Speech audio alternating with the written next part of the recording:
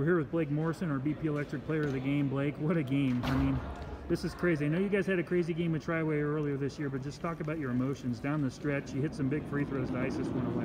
Yeah, you just got to step up to the line with confidence. And we've been in this situation a lot, so we know what to do. We know where to be. We know we know all the ins and outs of it. So it really helped to have those games prior to this one. And yeah, we just we just know what to do in these situations. Be confident. Defensively, they really pressed you guys. What did you guys do to kind of counter that? We just had to handle their pressure. We really didn't handle it that well tonight. I mean, we had too many turnovers, but you know, down the stretch, we handled it. We handled it well towards the end, and you know, we had to get our we had to get the ball to the person that had the mismatch on them, and that's what we did. How about that shot by uh, McKinney here on the right corner here to get the lead for good? Oh, doing it, doing it all year. He's just been doing it all year. You know, you can count on him to make that last shot. Are you excited for the tournaments now after this Oh game? Oh yeah, yeah, definitely. We've won our past two big wins and puts a lot of confidence in us getting ready for the tournament. Thanks, Blake.